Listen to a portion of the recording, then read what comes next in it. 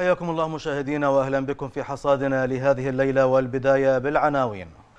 أهلا بكم مرة أخرى مشاهدينا وقبل الخوض في ملفات حصادنا لهذه الليلة ننوه لكم إلى هذا البث المباشر الذي تشاهدونه حاليا من الأرض المحتلة وتصاعد حدة الاحتجاجات في الكيان الصهيوني والتظاهرات آه، ضد نظام نتنياهو إلى درجة آه، وصلت هذه إلى حدة الانقسام بين شارع وشارع إثر مساعي نتنياهو لإيجاد آه، نوع من القيود والتغييرات على النظام القضائي مما اعتبر بالتوجه الدكتاتوري وهذا ما تشاهدونه حاليا في شاشة الأيام كنقل مباشر.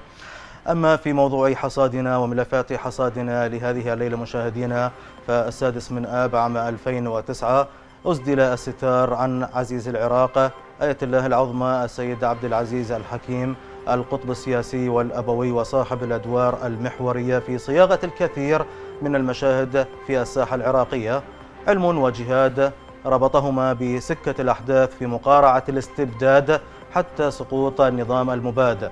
وبعد ذلك الاطلاع كذلك بالأدوار في وضع اللبنات الأولى للعملية السياسية جامعا وململما الشتات في كثير من المنعطفات الحادة والحرجة وموحدا للصف وكذلك مرسخا لمفهوم الشراكة الوطنية ومعيدا بلورة الجهود بما يحقق تطلعات الشعب.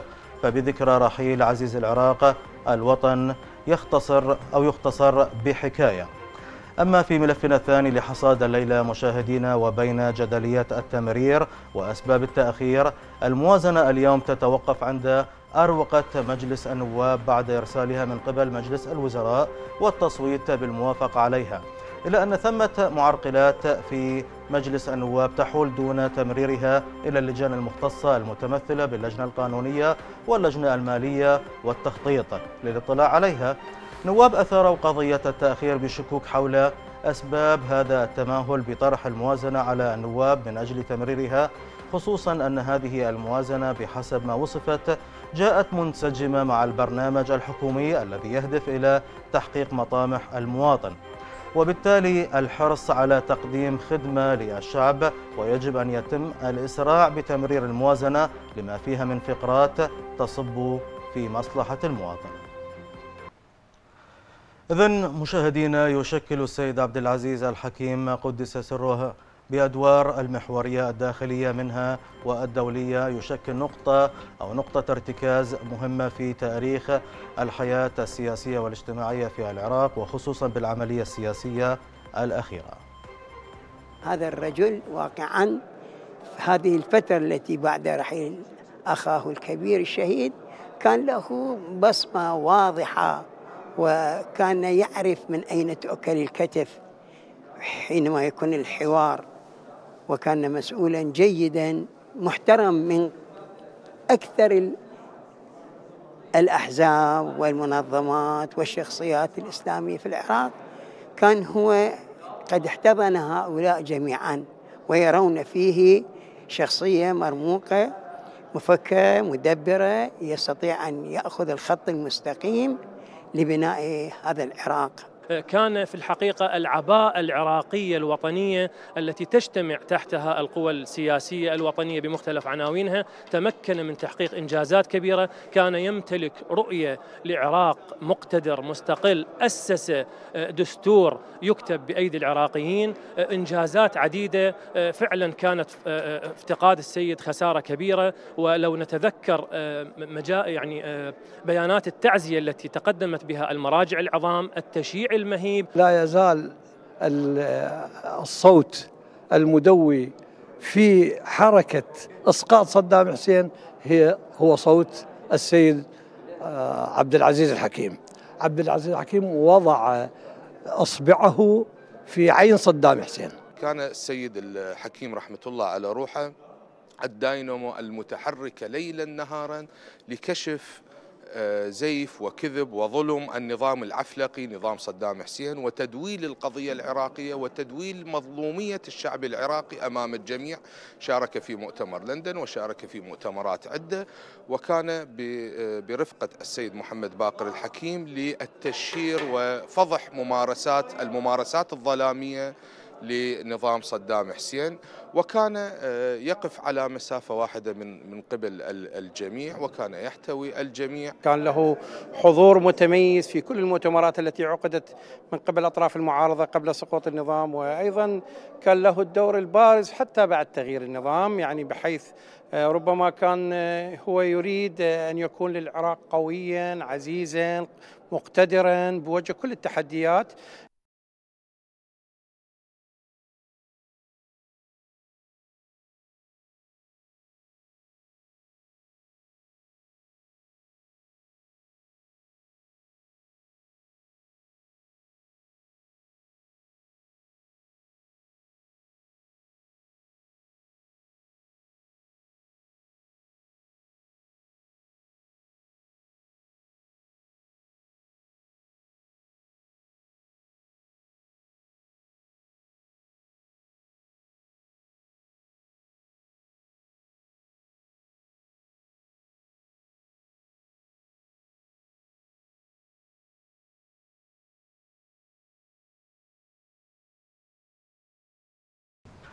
أهلا بكم مرة أخرى مشاهدينا وللحديث أكثر عن تفاصيل هذه أو هذا الملف نرحب سوية بالصوت والصورة ينضم لنا مباشرة القيادي في المجلس الأعلى الإسلامي العراقي.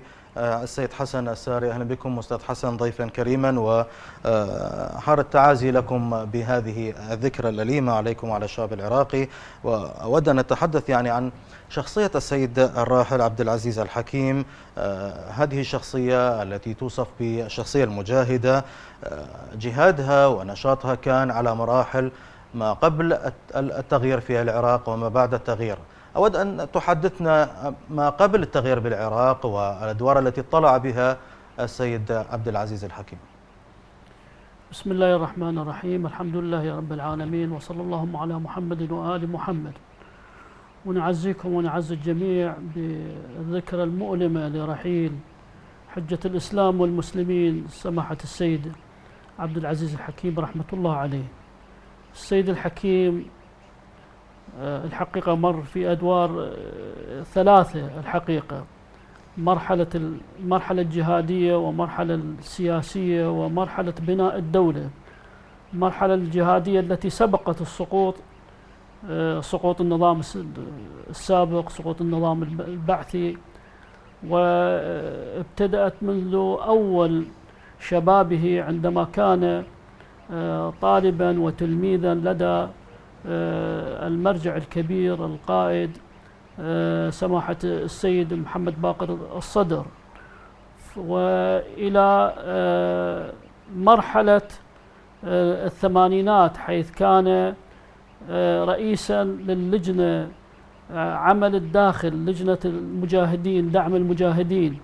فكان الحقيقة مجاهدا ويدعم المجاهدين آه، على على مختلف انتماءاتهم في الفصائل الجهادية.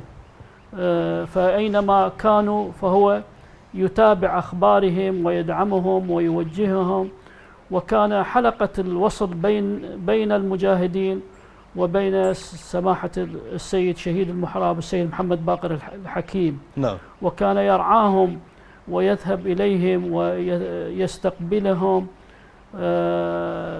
ويتحدث معهم ويجيب على جميع أسئلتهم ويدعمهم آه، ماليا ويدخلهم الدورات التدريبية. فكان يعني دوره دور المجاهد الداعم للمجاهدين آه الذي يعيش الحقيقة مع المجاهدين في معاناتهم ويتحقق نعم. ويتابع أعمالهم في داخل العراق. إلى أين وصلوا؟ ما هي الظروف التي يعيشون فيها. السيد الحكيم بعد عم يعني قبيل آه، سقوط النظام دخل المرحلة السياسية حيث تبنى آه، رئاسة اللجنة التفاوضية التي ذهبت مع المعارضة العراقية التي هي كانت سبعة أقطاب ذهبت للحوار مع أمريكا وكان ليس الحوار آه، بصفة يعني آه، طلب العون من الآخرين وإنما ذهب مع المعارضة العراقية ليوحد رؤيتهم وليوحد ورقتهم هذا في أي سنة سيد حسن؟ فكان كان هذا هذا قبل 2003 يعني؟ نعم قبل 2003 قبل يعني مؤتمر لندن نعم. بأشهر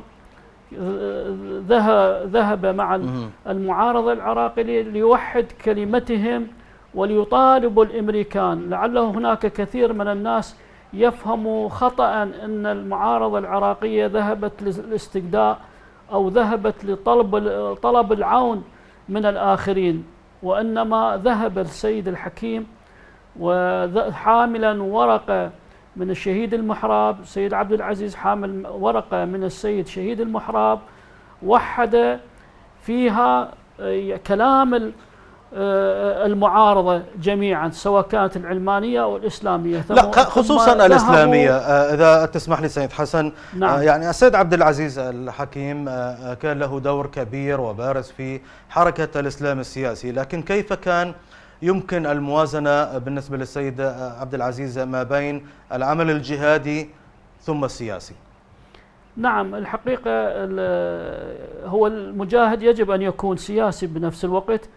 فالسيد الحكيم السيد عبد العزيز حكيم كان عارفا جيدا لعله أكثر من غيره في حقيقة النظام السابق بحيث أنه قريب للمجاهدين وقريب للعمل الجهادي. فكان عارفا بكل المعلومات التي تجري داخل العراق ومن ثم أسس مركز أنذاك مركز الوثائقي لجمع الوثائق التي تدين النظام على أنه مجرم حرب ونظام ظالم قدمها للمحاكم الدولية ومنها محكمة لاهاي آه، هذه الأوراق وهذه الوثائق التي قدمها السيد إلى المحافل الدولية شاركت في عملية تغيير الرأي العالمي اتجاه صدام كان صدام مدعم من قبل العالم من قبل الشرق والغرب لكن نتيجة هذه الوثائق ونتيجة ما قام به صدام من سياسات قمعية ضد الشعب العراقي نعم. تغير وضع العالم اتجاه آه، صدام طيب وجاءت و... الإرادة الدولية بتغيير هذا النظام م. على أيدي آه، الجيش آه، الأمريكي. لكن المجلس الأعلى تحديدا والمعارضة العراقية بشكل عام لم تكن ترغب بهذا التغيير. طيب كيف يمكن أن يكون التغيير بحسب رؤية المجلس في تلك الفترة؟ نعم يعني كان الظروف آه، شديدة جدا التهديدات آه، موجودة والنقاط الضعف موجودة في داخل العراق. كان الحصار المستمر على الشعب العراقي وكان رغبة الأمريكان نعم. بالتغيير النظام وكان هناك البنتاغون يريد يعني غزو العراق عسكريا وكان المخابرات الأمريكية تريد تغيير النظام بالانقلاب العسكري وكانت يعني بين هذه التهديدات ونقاط الضعف التي يعيشها الشعب العراقي في الداخل آه، تحرك السيد عبد العزيز والمعارضة العراقية وعلى رأسهم يعني قطب الرحى أصبح المجلس الأعلى السيد الحكيم شهيد المحراب والسيد العبد آه، السيد عبد العزيز هم يتحملون المسؤولية الكبيرة كانوا يتحملون المسؤولية في هذه القضية في عملية التغيير وبالتالي آه، يعني المعارضة العراقية وعلى رأسهم السيد عبد العزيز حملوا الأمريكان ما قدموه من دعم للنظام وخلال هذه الفترة الأكثر من 35 سنة كانوا داعمين النظام نظام صدام.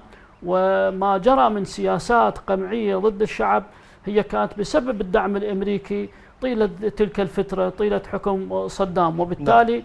المعارضة قدمت هذه الورقة التي جاء بها السيد عبد العزيز والتي كتبها السيد شهيد المحراب أن على المجتمع الدولي وبالخصوص أمريكا أن يقف مع الشعب العراقي هذه رؤية المجلس على رؤية السيد الحكيم شهيد المحراب أنه القوات أمريكا الولايات المتحدة الأمريكية والمجتمع الدولي نعم. يقف مع الشعب العراقي من أجل التغيير لا بالطريقة العسكرية كما جاءوا بها وإنما بطريق القرارات قرارات في الأمم المتحدة أو وجود مثلا المنطقة الآمنة في الجنوب أو تهيئة الشعب للثورة وإسعاف الشعب وإخراج الأسلحة الثقيلة التابعة للنظام في المناطق الجنوب الوسط والجنوب حتى يتمكن ويتسنى للشعب العراقي الحركة بالثورة ضد النظام. هذا كان رؤية المجلس الأعلى وبالتالي أصبحت رؤية لجميع المعارضة العراقية أن يطالبوا أمريكا يساعدوا الشعب العراقي بالثورة أو الانتفاضة ضد النظام من خلال إصدار القرارات التي تحمي الشعب العراقي وبالخصوص نعم. في الجنوب وفي الوسط طيب سقط النظام المقبور في العراق وعمت الفوضى في البلاد وظهرت يعني بعد سقوط النظام توجهات سياسية مختلفة سيد حسن يعني توجهات أحيانا لجهات متباعدة أيديولوجيا بدأت تعمل في الأوساط السياسية العراقية. كيف استطاع كيف ساهم السيد عبد العزيز الحكيم بجمع شتات هذه التوجهات المختلفة؟ نعم نتيجة ما يمتلكه سماحة السيد عبد العزيز الحكيم من صفات حقيقة من أخلاق وتقوى ودين والحقيقة تجربة وخبرة في العمل السياسي والجهادي ورفع شعار أم الولد وكان يعطي من حقه متواضعا يعطي من حقوق من حقه للآخرين. استطاع أن يجمع جميع شتات الأقطاب العملية السياسية من أحزاب وكتل سياسية ووحد فيما بينهم وكان يعطي من حقه لهم لمن يعني لمن لا يرضى بهذه القسمة وبالتالي آه، الحقيقة تمكن سماحة السيد من جمع هذا الشتات من أقطاب العملية السياسية وكان مقره ومقر المجلس الأعلى هو مقر التي آه، تقدم مسودات القوانين للبرلمان في الجمعية الوطنية نعم. وفي فيما بعد في الدورة الأولى وكان لا هناك لا يقر قرار الحقيقة إلا وأن يخرج من مقر آه، سماحة السيد عبد العزيز الحكيم ولا نعم. يخرج يصدر آه، أو أو يمرر قانون في مجلس النواب إلا وأن تقرأ مسودته في مقر المجلس الأعلى بقيادة السيد عبد العزيز الحكيم طيب. لذلك يعني تمكن الحقيقة بحنكته وصبره وتقواه وأخلاقه أن يجمع هؤلاء الأقطاب العملية السياسية ويسير بهم ويحقق استقرار سياسي ويحقق استقرار أمني رغم الظروف الصعبة من وجود المحتل وهناك بعض الذين يخالفون العملية السياسية ووجود الإرهاب لكن الحقيقة تمكن من تحقيق إنجازات كثيرة ونجاحات كثيرة في مجال الخدمات وفي مجال الاستقرار السياسي والأمني ويعني الكثير لعله يأتون إلى مقر السيد عبد العزيز إلى مقر المجلس ويطلبون حقوقهم بكل راحة بكل راحة وبكل رحاب الصدر. يستقبلهم السيد ويعطيهم حقوقهم. وهناك لجان تتابع عمل الجميع عمل الوزراء وعمل المسؤولين في الدولة ويتابع ماذا فعلوا وما قدموا من من خدمات وكان يتفقد الناس آه، ويتفقد رؤساء العشائر ويتفقد الناس في في محافظاتهم دائما يزور المحافظات ويلقي فيهم الخطب نعم. يعني يشحذ فيهم الهمم لمواصلة الطريق ولتثقيفهم بالثقافة الجديدة والابتعاد عن البعث والابتعاد عن سياسات النظام السابق وأن يقوموا بالمطالبة بحقوقهم. وهذا ما الحقيقة تحققت إنجازات كثيرة في وقته. طيب استنادا إلى حديثك يا أستاذ حسن. يعني كان للسيد عبد العزيز بصمة واضحة بوضع اللبنات الأولى لهذه العملية السياسية وتأسيسها في العراق وفقا ل أو في خضم المعطيات التي كانت سائدة انقسام ووجود احتلال وغيرها. كان عزيز العراق مشاركا فيها لكن كيف تمكن من إرساء دعائم لهذه العملية السياسية في خضم كل هذه التعقيدات؟ نعم الحقيقة كما ذكرت الصفات التي يتصف بها وأيضا الروحية التي يمتلكها وسعة الصدر واستيعاب الآخرين وأيضا ارتباطه بالمرجعية وعدم يعني مقاطعة المرجعية كان طائعا للمرجعية يعني ينفذ توصيات المرجعية وأوامر المرجعية وأيضا قريب للناس وللشعب العراقي بكل أطيافه وكان ارتباطه وتواصله مع جميع مكونات الشعب العراقي وكان يساوي بينه بينهم ويطالب بالعدالة. الحقيقة هذه الصفات وهذه الأعمال التي يقوم بها جعلت له آه، جعلت له آه، الإمكانية من أجل السيطرة على الوضع. وأيضا أن يلتحقوا به الجميع من مكونات شعب عراقي ومن شعب ومن تأييد شعبي كبير الحقيقة لسياسة سماحة السيد عبد العزيز الحكيم الله يرحمه. وكان دائما يدرأ الفتنة ولا يسمح للفتنة أن تقام كما حدث في آه، حادثة انفجار الإمامين العسكريين العسكريين كان له الدور الكبير في إخماد الفتنة وكان أيضا مطبقا لأوامر المرجعية في حالة آه في دعني دعني عملية إذا تسمح لي سيد حسن أقاطعك في هذه النقطة وعلاقة المجلس الأعلى والسيد عبد العزيز والسيد الشهيد الحكيم بالمرجعيه في النجف. يعني ليش أكثر الأحزاب والشخصيات التزاما كانوا بالمرجعيه وارتباطا بالمرجعية وتطبيقا لأوامرها ورؤيتها. أكثر يعني من بقية الأحزاب الإسلامية الأخرى. يعني هو هو هذا الدين يعني طاعة المرجعية هي ليس يعني هواية وإنما هذا من صلب الدين والعقيدة. نحن أتباع أهل البيت نحن نأمن بالمرجعية ويجب أن نقلد المرجعية ونحترم المرجعية. لأنه جزء من ديننا وعقائدنا ولا يمكن الإنسان أن يعمل عمل آه، سواء كان معاملات أو عبادات بدون تقليد وبالتالي العملية السياسية والعمل السياسي لا يقل أهمية من أي عمل آخر لا بد أن تكون هناك إجازة شرعية من من مرجع من مجتهد لذلك أن سماحة السيد الحكيم شهيد المحراب والسيد لا. نعم. عبد العزيز الحكيم وقيادات المجلس الأعلى وكل من انتمى إلى المجلس الأعلى وتثقف بثقافة المجلس الأعلى أن يطيع المرجعية ويتبع آه، توصياتهم وأوامرهم وهذا يعتبر جزء من ديننا. طيب لا. في ذات الوقت سيد حسن آه، عرف على السيد آه، الراحل عبد العزيز الحكيم الانفتاح على الآخر على الطرف الآخر بالرغم من أنه ينتمي إلى هذه المنظومة السياسية الدينية. نعم هاي من ثقافتنا الحقيقة. تعلمنا عليها من سماحة السيد شهيد المحراب أنه نقبل الآخر ونقبل رأي الآخر ولا نتقاطع مع الآخر مع حفظ ثوابتنا والحفاظ على ثوابتنا والحفاظ على رأينا. لكن الحقيقة نقبل الرأي الآخر ونناقش الرأي الآخرين في آرائهم ولربما نستفيد من هذه الآراء التي تطرح من قبل الآخرين في عملية تصحيح مسيرنا وتصحيح آه، الرؤية والأهداف التي نسير آه، إليها.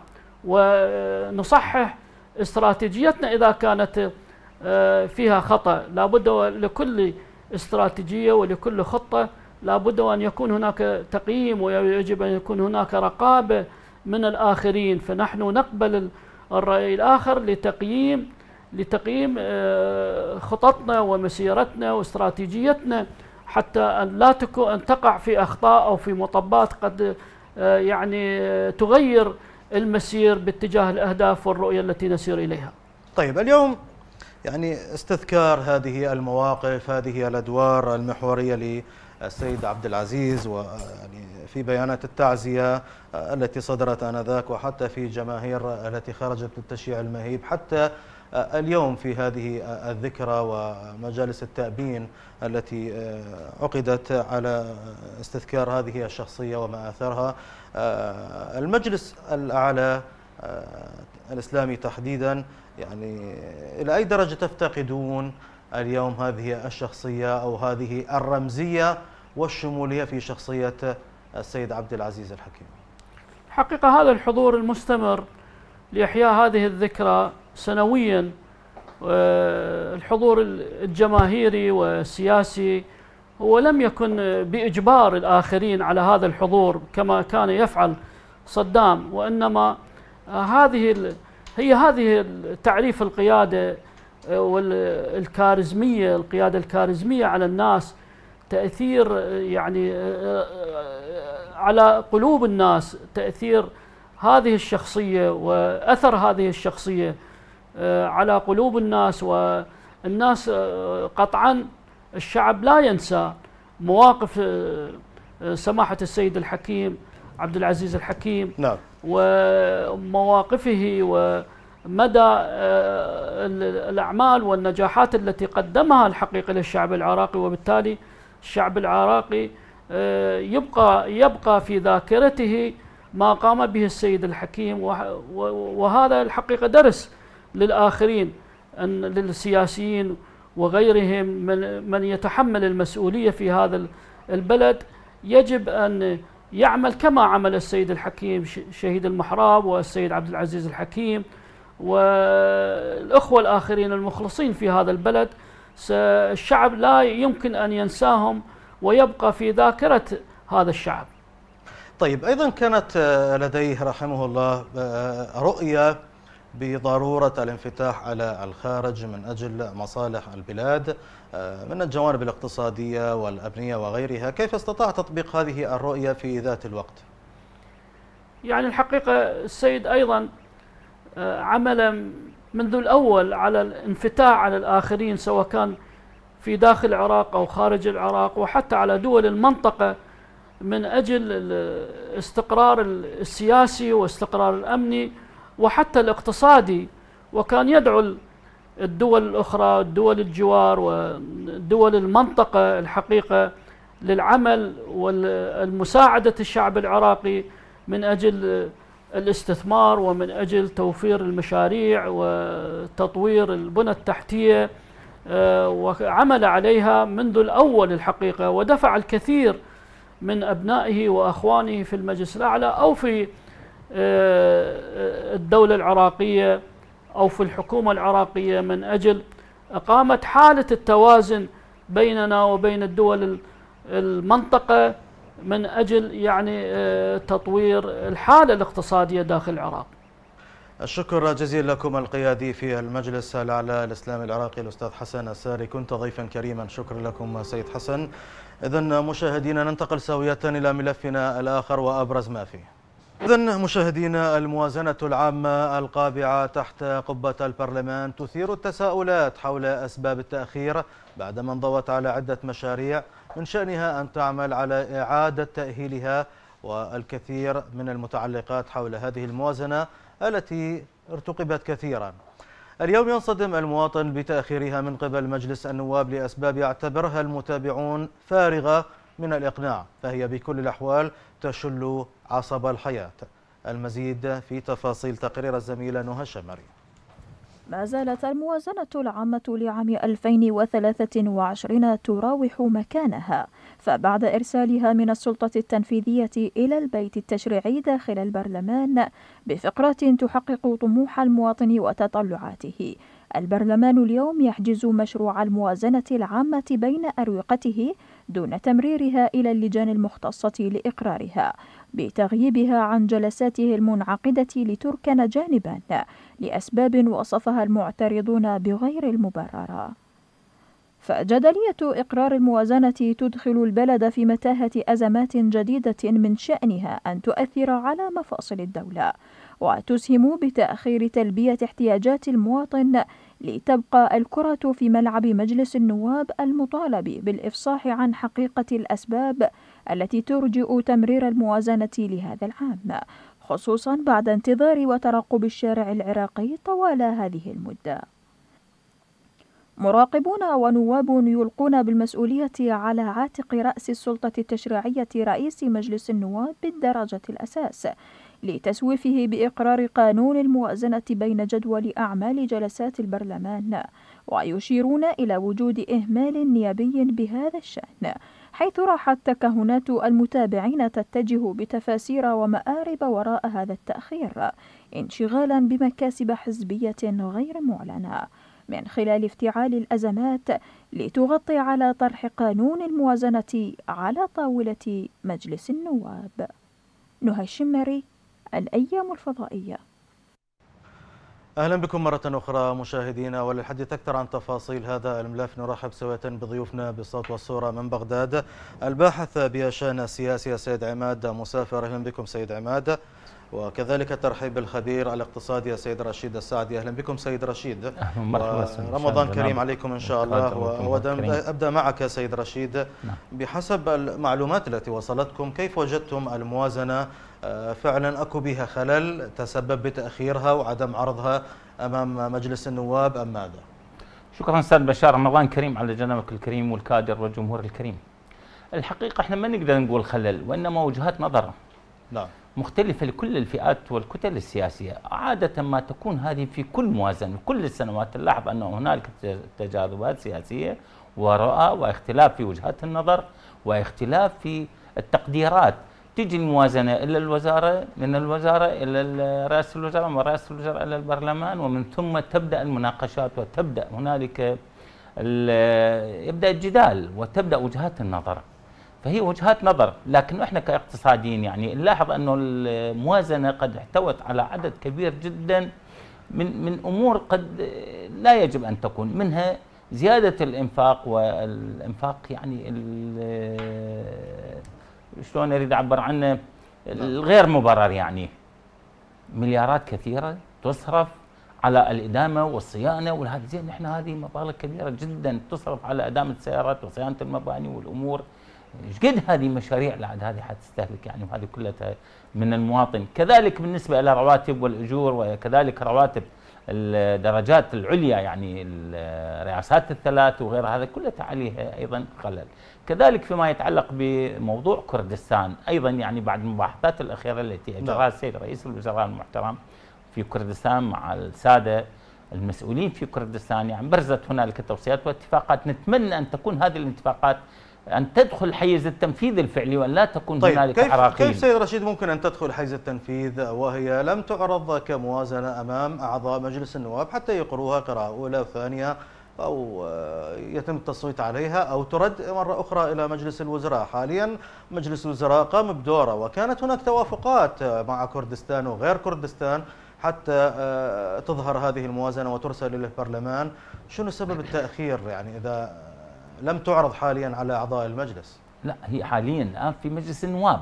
لكنها لم تعرض على الأعضاء. نعم الآن في مجلس النواب في رئاسة وستعرض على الأعضاء لمناقشتها وقراءة قراءة أولى وثانية وإبداء الآراء. وكثير إحنا ما نلتقي ونسمع ونتصل مع السادة أعضاء مجلس النواب اللجان المالية واللجان الأخرى التي لها علاقة بالموازنة وبقية المسؤولين نعم. محترمين في مجال الموازنة. هنالك اعتراضات من الكتل السياسية وجهات نظر مسألة كلش طبيعية جدا نعم. لكن إحنا يعني نوصي إخوتنا السياسيين أصحاب الكتل السياسية يعني رؤساء الكتل السياسية السادة المختصين في مجال اللجنة النيابية والاقتصاد الإسراع في إقرار الموازنه حتى تقدر الحكومة أن تنفذ ما جاء بالمنهاج الاقتصادي الذي تقد الوزارة الذي تقدم به السيد رئيس الوزراء المحترم محمد نعم. الشاعر السوداني كل تأخير سيؤثر على على تنفيذ البرنامج الحكومي. أرجع لك إلى توابع هذا نعم. التأخير سيد رشيد. لكن نعم. دعني أرحب مرة أخرى بالسيد عماد. أهلا بكم سيد عماد مرة أخرى. واود أن أسألك يعني بحسب معلومات متوفرة لديكم آه، مو تم الاتفاق أو التوافق ما بين الأطراف السياسية والكتل السياسية. آه، وصار الاتفاق قبل تصويت مجلس الوزراء على الموازنة. لو أكو أطراف أخرى عندها بعض التحفظات عليها. شكرا جزيلا أستاذ بشار تحية لك والمشاهدين ومتابعي قناتكم وتحيه لضيفك الكريم. حقيقة ربما هي المرة الأولى آه، منذ تأسيس آه، الدولة العراقية بعد عام 2003 إلى الآن أن تأتي الموازنة من مجلس الوزراء آه، لثلاث سنوات. السنة هذه يعني إجبارية أن تقرر داخل مجلس النواب والسنتين التاليتين هي اختيارية من صلاحيات تقدير المجلس لهذا الموضوع. قبل الشروع بأن تكون هناك حكومة السيد السوداني وكابينته الوزارية كان هناك اتفاق بين الكتل السياسية المنضوية تحت ائتلاف إدارة الدولة بأن تحل كل الخلافات بين المركز والإقليم أو حتى بين الكتل السياسية فيما بينها أن تحل هذه الخلافات تحت سقف الدستور ولربما أبرز هذه الخلافات هي الخلافات التي تحصل في الموازنة بين المركز والإقليم إذا هناك اتفاق سياسي لتمرير هذه الموازنة ربما نعم. آه، وصلت الموازنة إلى مجلس النواب اللجنة القانونية أفهم من كلامك أن التوافق حاصل ما بين حكومة المركز وحكومة الإقليم على هذه الموازنة يعني الخطوط العامة آه، طيب. هناك توافق كبير لكن هناك بعض الجزئيات تعرف أنه اللجنة القانونية وحتى اللجنة المالية داخل مجلس النواب هي ممثلة لكل الكتل السياسية الموجودة داخل المجلس وهذه الكتل السياسية متمثلة بنوابها لديها وجهات نظر. متوافقين بدرجة كبيرة على مع المركز عن موضوع أو تفاصيل الموازنة. يعني من الطرف الآخر اللي يعرقلها وعنده تحفظات عليها؟ ابدا لا يوجد هناك عرقلة بمعنى العرقلة لإقرار الموازنة أو لمناقشة. بعد شنو تسمي آه، الموازنة؟ مسودتها بعدها موجودة بإدراج مكتب رئيس النواب. يعني الموازنة لم يعني ما صار لها أيام من وصلت لمجلس النواب. وهي قبلها متأخرة أشهر؟ نعم. المتأخرة كانت في في مجلس الوزراء مو نعم. مجلس النواب. لكنه أنت تعرف كل الظرف الموجود آه، الاحتجاجات قانون الانتخابات وغيرها من القوانين. كل القوانين المدرجة على لائحة أعمال مجلس النواب هي قوانين مهمة سواء كانت الموازنة إقرار قانون الانتخابات النفط نعم. والغاز قانون المحكمة الاتحادية. كل هذه القوانين مهمة لكن قانون الموازنة فيه تفاصيل كثيرة وهذه فرصة للكتل السياسية أن تعبر عن آه، يعني مناقشتها لبعض التفاصيل بهذه الموازنة. لكن الموازنة هناك شبه إجماع داخل الكتل السياسية داخل مجلس النواب أن تمرر هذه الموازنة بالفترة القريبة القادمة إن شاء الله. طيب هسه سيد عماد قلت أكو عدة قوانين ومهمة معروضة أمام البرلمان قانون. الموازنة مهم وقانون الانتخابات أيضا مهم تتوقع من الجانب السياسي ممكن أن تكون مساومات ما بين هذين القانونين؟ يعني ابدا في سؤال مشابه لسؤالك لأبرز القادة السياسيين والنواب. سألت هذا السؤال. نعم. وهل من بالإمكان أن تمرر قوانين مقابل قوانين؟ نعم. ابدا. هذا الموضوع أكدوا أنه هذا الموضوع غير موجود. كل قانون إلى ظروفه وإلى آليته وإلى ليش مو صارت سابقا؟ شنو اللي يختلف بهاي الدورة؟ يعني هناك اتفاق. هذا الاتفاق السياسي الاتفاق الكتل السياسية فيما بينها أن تمرر هذه الحكومة أن تدعم هذه الحكومة أي عرقلة أي اتفاقات جانبية ربما تعرقل أداء عمل الحكومة وينعكس سلبا على حتى على على يعني موضوع الانتخابات والقواعد الجماهيرية لهذه الكتل السياسية. قانون الانتخابات إلى أرضيته وإلى أجواءه وقانون العفو العام كذلك حتى قانون النفط والغاز نعم. كل القوانين لها خصوصيتها ولها أجواءها الخاصة بها ممكن مناقشتها من جوانب عديدة. أرجع لك سيد رشيد. نعم. كنا نتحدث عن الموازنة والبرنامج الحكومي. برأيك إلى أي درجة هذه الموازنة ملبية لفقرات البرنامج الحكومي؟ الحقيقة هاي الموازنة اتصفت بصفتين تختلف عن سابقاتها. نعم. الصفة الأولى أنه يعني قدمت لمدة ثلاث سنوات وهذا جائز في قانون إدارة الدولة سنة 2019 هذا يمكن يجعلها كموضوع قانون أكثر حساسية من بقية الموازنات يعني أكو وجهة نظر قدم بها السيد رئيس الوزراء المحترم نعم تبريره لكونها ثلاث سنوات وأكو وجهات نظر أيضا للساده المسؤولين الآخرين. الميزة الثانية وهي المبلغ المخصص للموازنة الاستثمارية وهذه حقيقة بادره جيدة جدا امتازت بها عن بقية الموازنات. هذه ممتازة جدا. لكن أكو بعض الأحيان تبرز مستجدات. المستجد اللي برز الآن هو مستجدين اولا الاتفاق ما بين السيد رئيس الوزراء المحترم مع آه، إقليم كردستان والسادة المسؤولين المحترمين في كردستان على أن تكون الإيرادات مسجلة باسم الحكومة العراقية. هذا جانب. الجانب الآخر هو القرار الأخير لمركز التحكيم الدولي ICC في فرنسا بمنع تصدير النفط عبر ميناء جيهان من قبل إقليم كردستان وأن يتم تصدير هذه الكميات من النفط المصدر باسم الحكومة العراقية وأن ترد كافة الإيرادات باسم الحكومة العراقية فحيصير عندنا حسابيا دخلت إلى الحكومة العراقية والنفط المصدر عبر الجيهان والثاني هو الإيرادات المتحققة إلى إقليم كردستان اللي تدخل أيضا باسم الحكومة العراقية يعني المنافذ الحدودية، الموانئ الجوية، البرية، نعم. الرسوم، الضرائب، هذه كلها الآن يجب إعادة النظر بها وبالتأكيد ستكون إعادة آه، لقراءة الموازنة ومن ثم إعادة للمبالغ المقيدة فيها، تأخذ وقت طبعا. طيب هذا التأخير بالتصويت وإقرار الموازنة ما راح آه، يستقطع من جزء من يعني من من خطة التنفيذ للبرنامج الحكومي؟ بالتأكيد أستاذ بشار الكل يعرف أنه اقرار الموازنة يعني البدء بتنفيذ المشاريع بالتخصيص، إحنا كلنا نعرف أن قانون إدارة الدولة يتيح للدولة أن تأخذ بنسبة 1 على 12 لإدارة الدولة. نعم. أن ما تتوقف، لكن هذا لا يكفي لأنه 1 على 12 لا يكفي لتمرير مشاريع كثيرة منها استثمارية، منها مشاريع متلكئه يجب القيام بها، منها منها قوانين أخرى يجب أن تطبق، هذا لا يكفي، لكنه لما تقرر الميزانية وتخصص المبالغ المخصصة لكل قطاع آنذاك يتمكن كل قطاع أن يعمل بحرية وأن يعمل وفق المبالغ المخصصة له، المحافظات والمؤسسات والوزارات والقطاعات كلها يعني، وسيما أكو إصلاح يعني البرنامج اللي قدم السيد رئيس الوزراء المحترم محمد شيع السوداني كان برنامج طموح جدا. يعني يبدأ بمكافحه الفساد مساعدة الطبقات الهشه تنمية الاقتصاد وهي حقيقة تنمية الاقتصاد. ضرورة ملحة جدا. أستاذ بشار إحنا للأسف اقتصادنا ريعي ويعتمد في حدود 95 96% حسب تقدير الخبراء على النفط ولا يتعدى يعني في حدود 4 إلى 5% بقية الموارد. وهذا خلل كبير جدا. آه، قد يعرض العراق مثل ما عرضه سابقا أثناء انخفاض أسعار النفط إلى مشاكل وقد لا يستطيع تغطية الرواتب للعدد الكبير المتنامي من الموظفين والعدد الكبير المتنامي من الطبقات الهشه والرعاية الاجتماعية. وحقيقة هذا خلل كبير جدا على الدولة أن تفكر مليا وجديا بالبدء بخطوات عملية فعلية في آه، تعدد مصادر الدخل. عندنا مجال للسياحة كبير عندنا مجال لتنمية القطاع الزراعي كبير عندنا مجال تنمية القطاع الصناعي كبير عندنا مجال تنمية ال- القطاع التربوي القطاع الصحي البنى التحتية.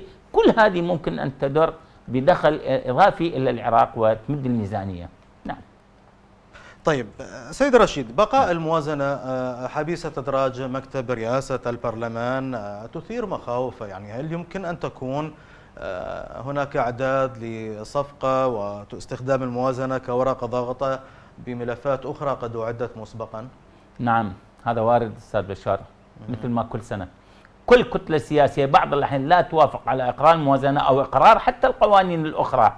ما لم تأخذ نصيبها مما تراه مناسبا لها.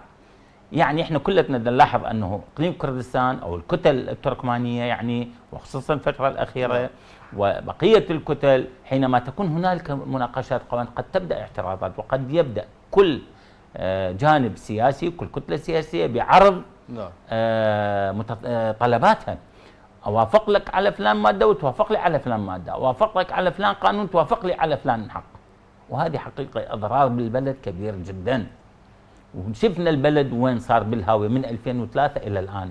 لو كان هنالك حكومة مؤسسات ودولة مؤسسات ومختصين ما لهم علاقة بالكتل السياسية لما كان وصل حالنا وحال العراق الآن الترهل الوظيفي، الطبقات الهشه إيش قد ارتفعت، نسبة الفقر إيش قد ارتفعت، نعم. الوضع اللي دي لحظة العراق شفتوا طيب. هسه أقل مطر اللي صار بالنجف والديوانية وبغداد وبقية المحافظات، غرقت هذه كلها البنى التحتية اذا وينها؟ أكو خلل كبير جدا عندنا. طيب. إحنا نوصي أخوتنا الكتل السياسية آه، أن تقام مجالس أعمال مثلا أو مجالس عليا لإدارة البنى التحتية، لإدارة الصحة، لإدارة التربية، إدارة الزراعة، تضم مختصين ما لهم صح ترشح الكتل السياسية بس يجب أن يكون مختص مليء كفؤ في علمه، متمكن لا ينحاز إلى جهة أو طائفة أو إلى قومية على حساب طيب. العراق، يجب أن يكون الكل للعراق. طيب سيد عماد بظل وجود آه، هذا التحالف المتين حتى الآن وهو تحالف إدارة الدولة ما مدى احتمالية أن تعاد الموازنة إلى مجلس الوزراء؟